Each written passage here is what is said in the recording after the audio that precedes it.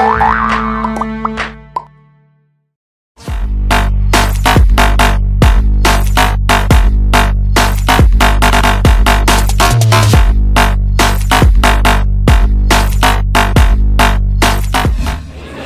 Jumat sih ada jadwal kunjungan resmi ya di lapas itu kan hari Selasa, Kamis dan Jumat.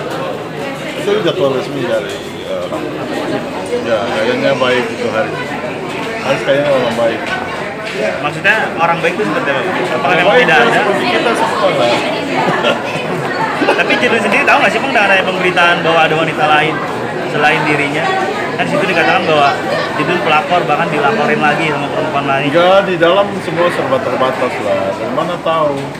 Kan nggak nggak tahu kan di kalau dalam semua serba terbatas dalam.